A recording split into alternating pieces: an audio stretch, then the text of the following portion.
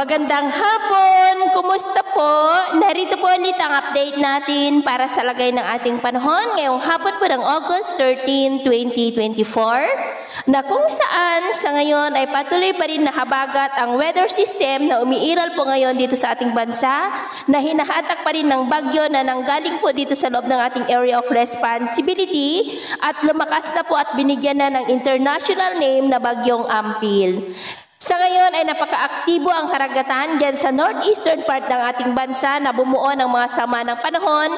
At maliban nga kay Bagyong Ampil, Bagyong Maria at ang bagyo na si Sontin ay posible ulit na maging bagyo anytime ang LPA na nabuo kahapon lamang. Pero kikilos naman po ang mga yan pataas, palayo po dito sa atin. Pero sa susunod na mga araw ay ay posible naman na maging aktibo ang dagat Pasipiko sa silangang bahagi ng ating bansa. Base, base po sa pinapakita ng forecast model na ating ginagamit ay may mga sama ng panahon na, na namamataan na mabubuo sa silangang bahagi ng ating bansa.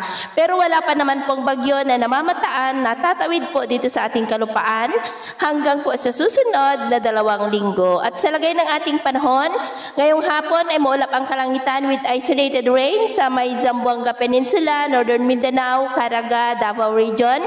Soxor din, ilang bahagi ng Panay Island, Negros, Cebu, Bohol, Leyte, Samar Provinces, Sorsogon, Oriental Mindoro, Palawan, Southern Quezon, Tarlac, Nueva Ecija, Ilocos Region, Cordillera, ilang bahagi ng Cagayan Valley na posibleng magtuloy-tuloy ang mga isolated rain sa ilang bahagi ng ating bansa. Hanggang mamayang gabi kaya mag-ingat po tayo sa posibleng banta pa rin ng mga pagbaha at pagguho ng lupa.